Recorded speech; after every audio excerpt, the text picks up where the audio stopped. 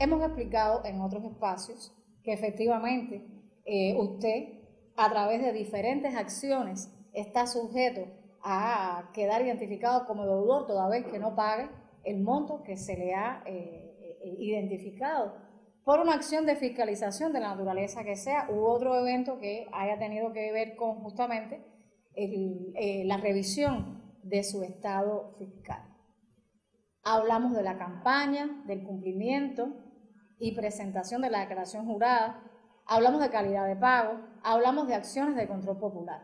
Hoy vamos a hablar de una cuestión muy importante que tiene que ver con eh, la etapa final. La etapa final desde el momento en punto en que a usted se le presenta una resolución que hace firme un monto que usted debe al fisco, que usted debe eh, liquidar para el cumplimiento de algunas de estas em,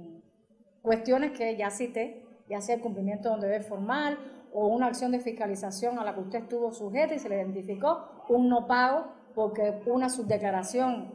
se le identificó, o sea que diversas son las razones.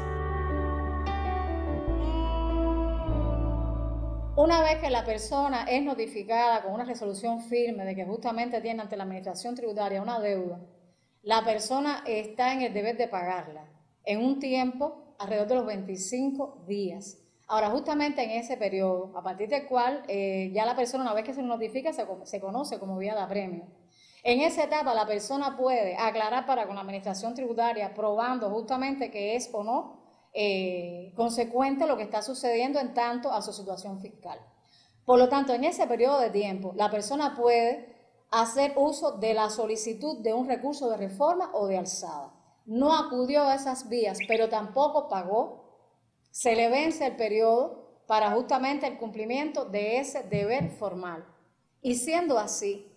y es la vía de apremio, la vía forzosa que tiene la Administración Tributaria para el pago de la deuda, comienzan a crearse las condiciones a la persona para la elaboración de un expediente y de todo aquello que ante los tribunales nos permita presentarlo como evasor fiscal.